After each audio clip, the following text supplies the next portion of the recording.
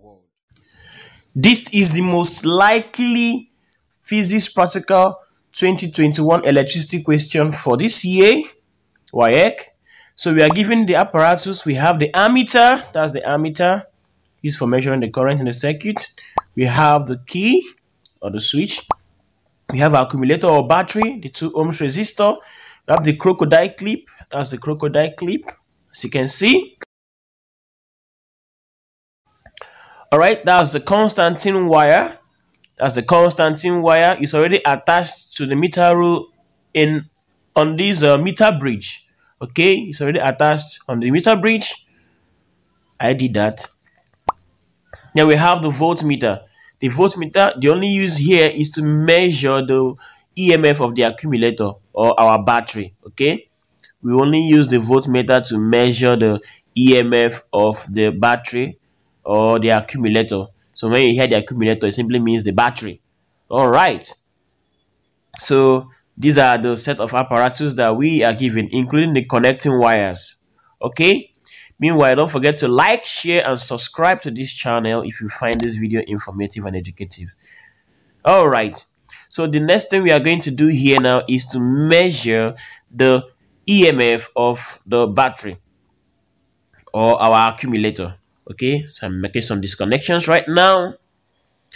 Okay. Now we have the positive terminal of the battery. That's the positive terminal and the negative terminal okay? The positive terminal negative terminal and the positive terminal. So how do we make this connection? We make the connection such that positive goes to positive negative goes to negative. The red is the positive side of the voltmeter okay? So we make the connections that way. If not, you will not have any deflections. So we connect the positive side of the battery to the positive side of the voltmeter. And as well, the negative terminal of the battery, the wire goes to the negative terminal of the voltmeter. And our voltmeter has deflected. And the value we are reading up, the value there from our voltmeter is 2.4 volts as you can see 2.4 volts okay so we record that and keep it somewhere. All right so we make disconnections right now. So that's where the use of the voltmeter ends. So we put that one aside. And we set up our system apparatus based on the diagram displayed on your screen. Okay so that's how we are going to set up the system so that is that. All right. The negative side of the battery, the negative terminal of the battery goes to the to one end of the key. Okay. All right. We make our connections tight. Then from the other end of the key, we run it to the 2 ohms resistor. From the other end of the key, we run it to the 2 ohms resistor. So that's from the negative terminal to the other end of the key, now to the 2 ohms resistor. Okay. That is that. I've already made that connection. Then from the 2 ohms resistor, from the other end of the 2 ohm resistor to the negative side of the ammeter. Because from the negative side of the battery, the wire must go through and come back to the negative terminal of the ammeter. Remember, negative to negative. So that's the negative terminal of the battery. The red is the negative. The, the black is the negative, sorry. And the red is the positive. So that is the way to do your connection. Then from the positive side of the battery, we will now connect it to the positive side of the ammeter. We are using the 3 ampere, the 3 ampere maximum deflection here. Very, very important. So since we are using the 3 ampere maximum deflection, we'll be using the lower graduations. Now, one end of the constantan wire is connected to the negative terminal of the ammeter. It could also be connected to one the other end of the 2 ohm resistor. But the negative terminal of the ammeter is more stable for me. The crocodile clip, a wire is attached to one end of the crocodile clip and it is joined to the opposite side of the 2 ohms resistor. it is joined to the opposite side of the 2 ohms resistor or there's a gap on that wire there so I, I prefer a tighter connection will be made there so I have to put it there so one thing you must understand is that the crocodile clip is attached at one end of the 2 ohm resistor while the constantan wire is attached at the other end of the 2 ohm resistor. If you don't do it that way, your practical won't work. So take note of that. Very, very, very important. Okay? Okay, that's right. The, the constantan wire attached at one end of the 2 ohm resistor, the crocodile clip at the other end. Alright, so the second thing we are told to do is to close the key and read and record the current when the crocodile clip is not making contact with the constantan wire. Okay, so the crocodile clip will not make contact with the constantan wire. So that's the key. So I have closed the key now. So looking at the current being read off, okay, a closer look there, you will see what we have there is 0.66 ampere. And how is that so? We are using the lower graduations and there are 10 small divisions. From 0 to 0.6 is 10 small divisions. That means each single division is what? 0.06 ampere. So what we have there is 0.66 so we disconnect the key to prevent current drainage. Battery drainage sorry. Okay. So after that the next thing we are going to do is to make contact with the constantan wire using our crocodile clip at a distance of 90 centimeters. So we read off 90 cm from the meter rule and using the crocodile clip we make contact there. Okay, so I'm gonna show that's my 90 cm. As you can see, that's my point. 90 cm, I'm making contact already using the crocodile clip. Okay, there. So I'm going to close the key and read and record the current that will result. All right, so make sure that your connections are tight. Very, very important. Okay. Closing the key right now. The ammeter deflects and the reading we have there is 1.08 ampere. 1.08 ampere. We disconnect the key. All right. Okay. So how do I get my 1.08? Remember I told you that we have from 0 to 0 0.6 is 10 small divisions and each of those division is 0 0.06. So we have 0 0.06, 0 0.12, 0 0.18, just like that, okay? So that, that was how I got 1.08 ampere. All right. So the next thing we are going to do is simply readjust the contact point on the constantan wire with our crocodile clip to the point of um, 80 cm and close the key and read and record the current that results. Okay, so we are going to locate the position of 80 cm on our meter rule and make contact using the crocodile clip. As you can see there, it's already done. My contact has been made so I'm going to close the key, read and record the current that results. All right. Ensure that your connections are tight, okay? And make sure you avoid error due to parallax when taking your readings. So I close the key right now and there's a deflection and the value of current I have there is 1.14. 1.14 okay. So I put it down record it and disconnect the key. Okay? 1.14 amperes. Now the next thing I'm going to do is also to adjust okay? Adjust my point of contact to what 70 cm okay that's my point 70 cm that's 70 cm as you can see. That's 70 cm okay this practical is very simple. It's the simplest so far. So I want you guys to pay close attention. Make sure you perform this experiment. Don't skip it. This is the simplest. Okay, so I'm going to close the key right now and watch out for the deflection. So I've closed my key and there's a deflection and the value there is 1.2 amperes.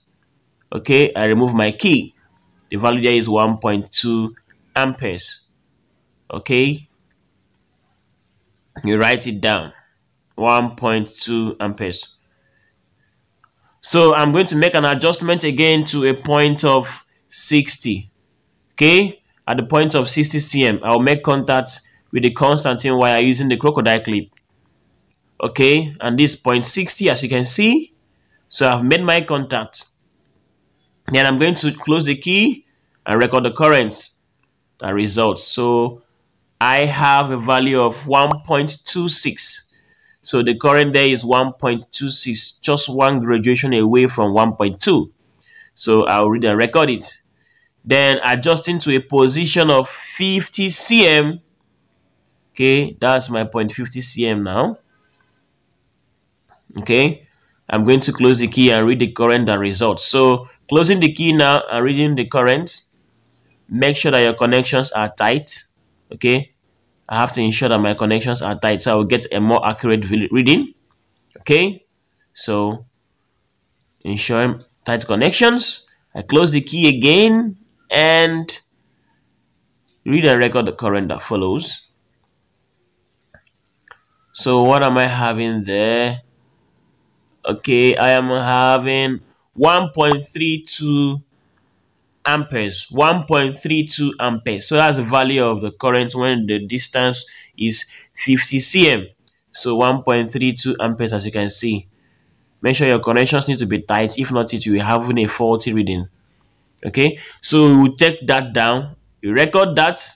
All right so that's where it ends now. So we will tabulate our readings. Okay? We will make a provision for d make a provision for current I'll make a provision for the inverse of D. All right. So we'll now go ahead and plot our graphs. Don't forget that if you find this channel educative and informative, don't forget to hit the subscribe button. Don't forget to like. Don't forget to share and communicate to your friends. All right, so straight to graph plotting now. We have our table of values.